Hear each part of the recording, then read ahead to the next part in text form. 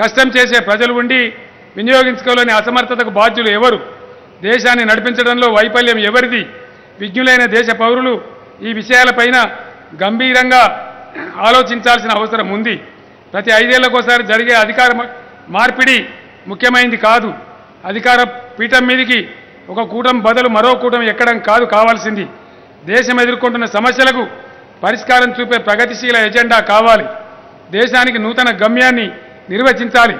ప్రజల జీవితాల్లో మౌలికమైన పరివర్తన రావాలి. దేశంలో గుణాత్మకమైన మార్పులు చోటు చేసుకోవాలి.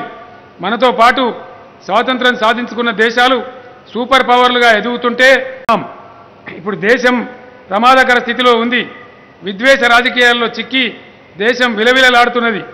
దేశంలో మత పిచ్చి తప్ప వేరే చర్చ లేదు. ప్రజల అవసరాల ప్రాతిపదిక కాకుండా పోయాయి. మత ఘర్షణల ద్వారా రాజకీయ ప్రయోజనం పొందాలనే ఎజెండా చాలా ప్రమాదకరమైంది. విచ్ఛిన్నకర శక్తులు ఇదే విధంగా పేటరేగిపోతే సమాజ ఐక్యతకు ప్రమాదం ఏర్పడుతుంది. అశాంతి ఇదే విధంగా ప్రబలితే అంతర్జాతీయ పెట్టుబడులు రావు సరికదా?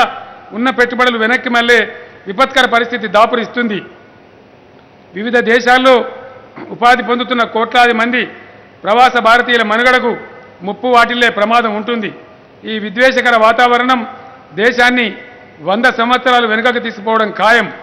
దేశం కోలుకోవడానికి మరో వంద సంవత్సరాలు పట్టినా ఆశ్చర్యం లేదు. నిత్య ఘర్షణలు కత్తులు కొట్టాటలతో దేశం నాశనం అవుతుంటే బాధ్యత కలిగిన వారెవరూ చూస్తూ ఊరుకోలేరు. భారతదేశంలో ప్రజలకు కావాల్సింది కరెంటు మంచినీళ్ళు ప్రాజెక్టులు ఉద్యోగాలు ఉపాధి అవకాశాలు. దేశం ప్రగతి పథంలో పరుగులు పెట్టాలంటే నూతన వ్యవసాయ నూతన పారిశ్రామిక నూర్తిక నూతన ఆర్థిక విధానాలు కావాలి. అందుకు తగు వేదికలు రావాలి. కొత్త సామాజిక ఆర్థిక రాజకీయ ఎజెండా కోసం దారులు వెతకాలి. ఆ జన్మాంతం తెలంగాణ ప్రజలను కంటికి రెప్పలుగా కాపాడుకోవడం నా విధి. అదే సమయంలో దేశ ప్రయోజనాల కోసం విద్వేష రాజకీయాలకు వ్యతిరేకంగా పోరాటం చేయడం కూడా మనందరి బాధ్యత నేను గుర్తు చేస్తూ ఉన్నాను.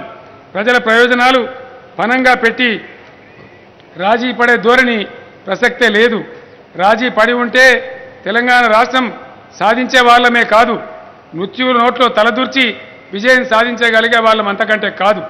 సమస్త ప్రజానీకానికి సంక్షేమ అభివృద్ధి ఫలాలను పంచుతున్న తెలంగాణ ఎజెండా దేశమంతా అమలు కావాలి. ఉజ్వల భారతదేశ నిర్మాణం కోసం జరిగే పోరాటంలో తెలంగాణ ప్రజలు అగ్రభాగాన నిలవాలని నేను మనస్ఫూర్తిగా కోరుతూ ఉన్నాను.